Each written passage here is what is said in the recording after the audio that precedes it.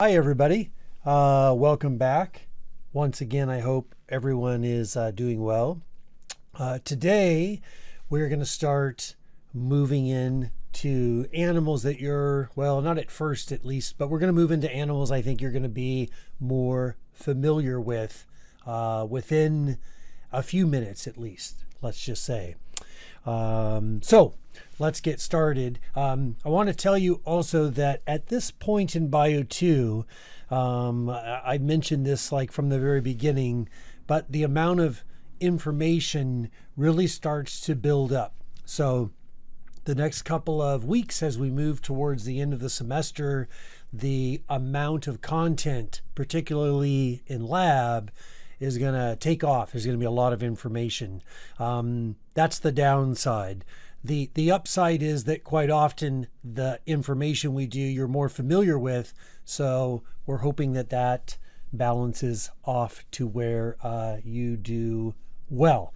In general, uh, although there's more information, we tend to see students do better, I think, at this point, but it depends on a lot of factors. So um, you'll notice I've changed the title. You might have 2C up or something a little different than that. That's okay.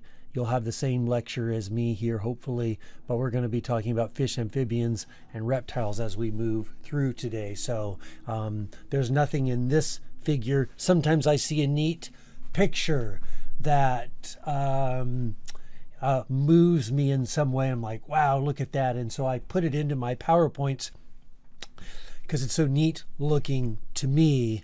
And students get overwhelmed because as a student, you know, you think you have to memorize all that. And actually, most of that you will find by the end of the semester uh, you do know, um, but you haven't seen it all like that yet. So that's okay.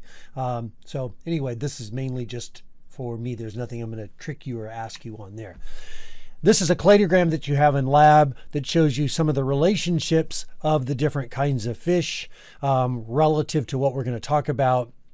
Um, I'm not going to ask you anything directly on this cladogram either. Uh, I just want you to be familiar with it in general. As we go through lab and lecture, we will talk about each of these groups. So you'll need to know them, but you won't need to know them on this chart.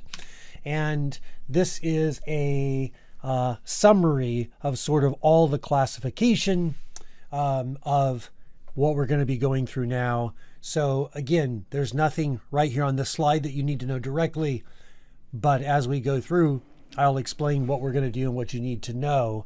Once again, for lecture, this is what we're working on lecture right now. So in lecture, I'll give you specific things I want you to know. This slide really shows you sort of the taxonomy relative to lab. And uh, I have Tyler versus markup here just to point out that there's some differences uh, between different uh, instructors on what they think the correct taxonomy is and uh, Professor Tyler Flissick, a good friend of mine, as well as Mark Cooper. Um, Tyler Flissick is our fish guy, Mark Cooper is our bird guy, and I'm the insect and reptile guy. So we all have slight differences on what we think is right in our particular area.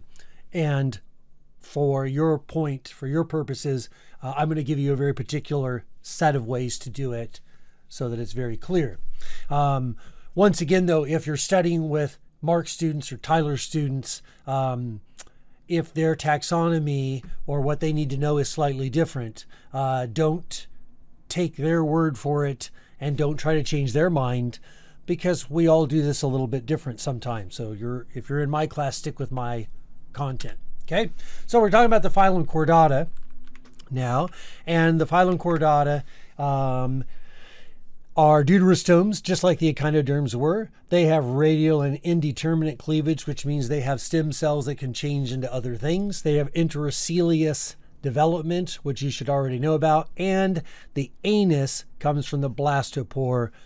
That's the name deuterostome. The second opening becomes the mouth. So during development, when you when you if you took a balloon and you push through, like we talked about the gastrulation process, that first opening um, becomes the anus in a deuterostome because second mouth. Okay, they're generally bilaterally symmetrical, meaning you can divide them in only one way, where you have a right and left. Um, and there's both invertebrates, invertebrates and vertebrates in this group. Uh, but what the phylum Chordata have is they all have these four characteristics. Okay, so, and we'll go through these. Uh, so this is a primitive sort of larval stage looking organism, and basically all chordates, at least during development, start kind of looking like this tadpole thing. Every chordate in the phylum Chordata looks like that in the beginning. Okay, so first, um, we have the first characteristics is, is this thing called a notochord. The notochord is this flexible rod that runs the length of the animal basically. And back in the, they may even still sell it now, but maybe I'm going to say in the 80s or 90s, um, they sold this uh, device. And if I can find it, I'll, I'll, I'll put it up. I'll put a picture of it up. But essentially, it's a pole and you shake it and you can get in really good shape with this exercise equipment. Late at night, you know, they're always trying to sell you something. So there's this exercise device apparently that you, you know you hold this thing and you shake it. It always reminds you of the notochord it's a big flexible rod. And if you stand certain ways it's more difficult to do um, but but essentially it's a plastic flexible rod which you can do with almost anything. So this gives you sort of the starting balancing point uh, in a in a chordate to have some sort of rigidity. Um, so an animal that can be sort of hard and, and have muscle can start to have a way to attach things to it. So that's the notochord. And then dorsally, meaning further towards the back of the notochord, we have the dorsal hollow nerve cord. And that also runs the length of the animal and they look like they're kind of right by each other and sometimes people confuse them for being the same thing but they're not the dorsal hollow nerve cord is just like it sounds it's a hollow space for which you in us and humans for example the nerve cord your spinal cord can run so it is a space the notochord is this long flexible rod and then again dorsally further towards the back you have this space where the nervous system can run the length of the animal. They, uh, all the chordates also have pharyngeal gill slits, which are these right here, which are used for respiration. So there are slits along the side of the animal that allow oxygen, oxygenated water really to move through um, and capture oxygen and get rid of CO2. It's more of a breathing type of thing early on in development. So all chordates have that even humans early on in development have these pharyngeal gill slits. And by early on in development, I don't mean like you're one or two years old. I mean before you're born, you know, way before you're born. Like, you know, uh, mom's two months pregnant, or I'm guessing now, I'd have to look up and see kind of where this is. But I'm talking about way before you become a little human coming out during development, you have pharyngeal gill slits. My advisor, a world famous herpetologist, was apparently born, Bayard Brattstrom, with these openings of his pharyngeal gill slits that didn't close properly during development and they sewed them closed. Um, and so he had a beard uh, most of his life as an adult uh, to hide the surgery scars. And everybody always asks, so I'm just going to answer it. He could not breathe underwater.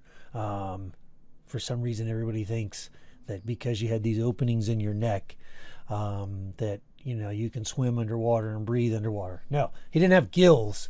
I'm just saying, pharyngeal gill slits. There, there were there were openings um, to that. But and, and I'm sure that maybe occasionally happens in some kind of developmental error, but you don't breathe underwater. Okay.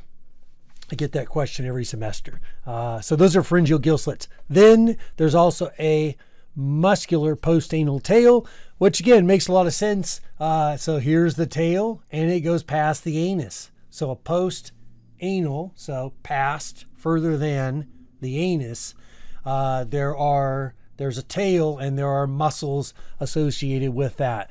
Again, in humans, uh, we don't have a tail that you can you know, visibly see, but we have these little tiny bones at the end past the rectum, uh, the coccyx, the little tiny bones. If you ever fell really hard on your butt, you could have broken your coccyx and um, and it hurts really bad. There's not really all that much they can do. That is your postanal tail um, in a human there. So just little tiny series of bones that go to the very end past uh, what you would normally think of where the end would be. That's the postanal tail. So, a couple of different subphylums in that group. This first subphylum is the Urochordata. These are called tunicates. Uh, when I was at UC Santa Cruz, uh, one of the most famous tunicate people of all time, um, one of my mentors there that taught me many things I didn't even realize until I left Dr. Todd Newberry, one of the founding members of UC Santa Cruz, was a world expert on tunicates and development. And this is what a tunicate looks like. It starts off in the larval stage looking like this. It has all four chordate characteristics.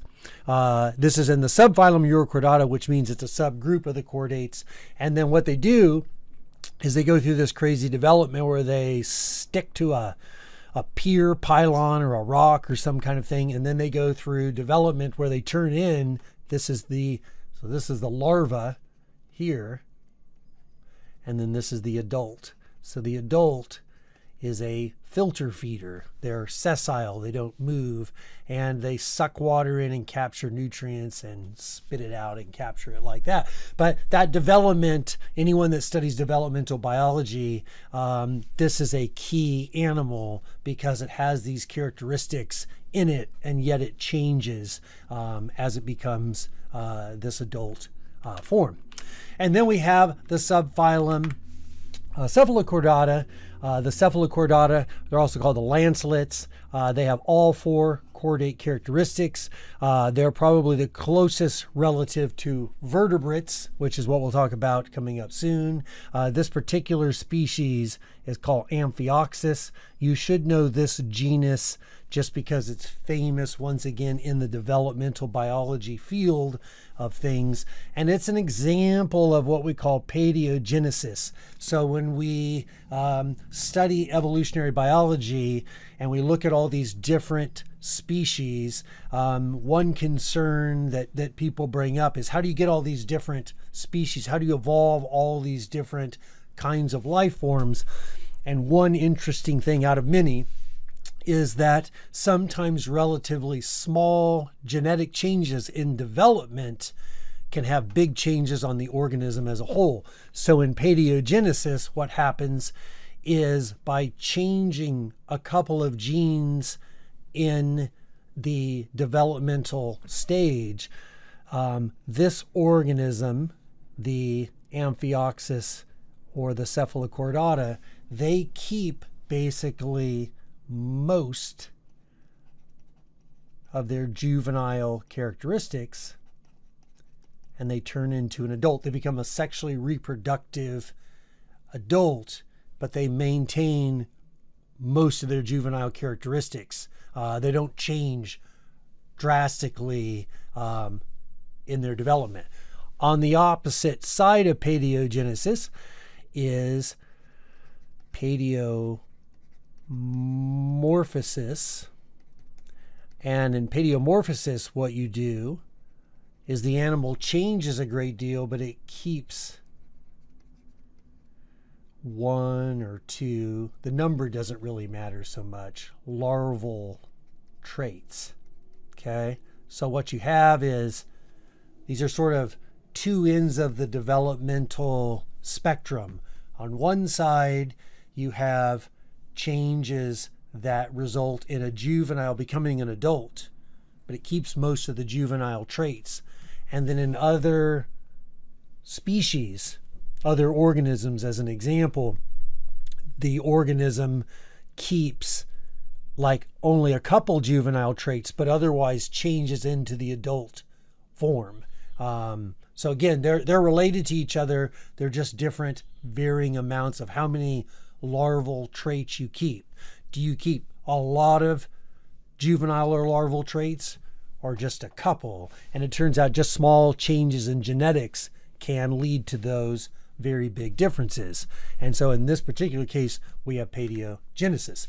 Then we get to the subphylum Vertebrata, which contains then all the vertebrate animals. And these animals will have backbones, uh, kind of like us, like our vertebral column, but not quite exactly like what you're used to yet, uh, because our backbones are made up of bone, and we don't quite start with bone. Before we get to bone, we have uh, some intermediates. So the way the subphylum vertebrata forms is they'll have, first of all, they have all four chordate characteristics at some point uh, with modifications to them, and they will end up having this uh, vertebral column that is forming, and that'll form by what's called the neural crest, tissue that's pushing up like this and forming this loop. So it's going to push this tissue this way and close off there. So you'll end up with your notochord and your dorsal hollow nerve cord. And then this tissue here is what's going to lead to our um, backbone, as we call it. It's going to wrap around that. So we're going to get to that now. Now, when we talk about some of the changes we're seeing uh, as we move into the vertebrates and what is the advantage that evolution might favor um, the development of vertebrates. Uh, we get into a couple of different things that are important. First of all, uh, we have a living endoskeleton. Uh, and muscles that can grow and change with the animal. Um, when you when you think back to things like uh, the crustaceans and insects, they have this hard outside shell, which is good. It prevents them from drying out and it gives them some protection. Uh, but because it's on the outside, uh, anytime they're going to grow bigger than that, they have to grow a new, they have to, it's dead tissue essentially, so they have to shed it and grow a new one. The idea with vertebrates, as we see this evolutionary change, we're moving the skeleton inside. Um, and again, it's not that it's better per se uh, because there are still arthropods around, no doubt. But as animals get bigger, um, you need a different methodology. So this endoskeleton can grow with us, which is quite different than having it on the outside. So there's a limitation that arthropods have, although a very successful group. You don't find very many very large ones, um, in part because of that lack of ability to grow that uh, skeleton. Okay, so living endoskeleton can grow with us, uh, much better for larger animals. It also gives a place for bone. Uh, for, for muscle attachment on the bones. Um, we're also going to see better pharynx and efficient respiration system. So as the animals become better at um, getting um, oxygen out of the air and become larger in size, their metabolic rate's going to go up and their ability to sustain that's going to go up. Uh, which is better in a bigger animal um, because they're going to need to get more food and live longer um, and, and have a different sort of strategy uh, as they move forward in life. Um, evolutionarily, uh, they'll have more advanced nervous system in most we'll see a more complex nervous system, um, and we'll get into that. There are exceptions, though, when you look back on the invertebrates like the cephalopoda, um, which which is the the the squid and the uh, octopods and all those animals. Those animals get fairly large and have a pretty complex nervous system, but they're kind of an exception relative to most of the vertebrates. Um, and we'll see paired limbs to help with increased movement. Okay, now uh, when we look at uh, chordate evolution, uh, there'll be a bunch of chordates. You don't have to worry about this right now because we'll go into these as we go through them. Um, we're going to see changes that occur in a fairly sort of consistent set of time. So we're going to see the vertebrate first coming along, and then jaws will be coming up next, chewing mouth parts teeth and lungs and legs, amniotic egg, hair and feathers, and that'll get us all the way through birds and mammals as we get there. So we'll start with our first group of fish, which is the superclass Agnatha, and the order here is Myxiniformes, and these are called hagfish, marine scavengers. Um, they secrete slime on the outside of their body and they lack scales and paired appendages and they will tie themselves in this knot like this and secrete this slime if they're attacked um, and make it difficult for things to uh, attack them and they also use that knot uh, to create leverage as they're pulling food off because they don't have chewing jaws the agnatha lack so a means without. Natha, those are jaws. The Agnatha lack chewing jaws. And then we have the superclass, also Agnatha once again, our second group, the Petromyzontiformes. That's a good one, right? Uh, these are called lampreys, and this is not a lamprey. This is the fish. These are the lampreys that are parasites that are on it, uh, that are marine and freshwater. They live in both environments and they migrate between them. And they have this larva called the Ammocoetes larva, which is a filter feeder that looks kind of like this, and it's kind of like the lancelet. And they lack scales and paired appendages, and they are parasites, as you see here. Again, no chewing jaws. They are a parasite. They stick to fish and chew on the side of it. And then we're going to move into the jawed structures of fish, the evolution of jaws. And this most likely developed from gill arches. So the pharyngeal gill slits, uh, the muscle is already there. And as you use some of those uh, in development, as you change some of those, you can change the position of the muscles and the size of them so that we think that most likely what happened is things like chewing mouth parts evolve from those gill slits. Um, because they're already there and uh, slight changes over time in development could give you perhaps that sort of structure um, and allow for an active defense against predators also. They can get thicker um, and instead of armored plates um, you have the de- emphasis on armored plates which is probably what they're there for in the beginning. Uh, they're used to protect the gills and they're used for respiration. Uh, but as they get thicker, they provide a sort of protection around the head region, but also they have the muscle attachment to create leverage um, for chewing. And that's how we think uh, the jawed fish arrived. Okay, uh, I'm going to stop right there in this lecture and then we'll move into sharks uh, momentarily.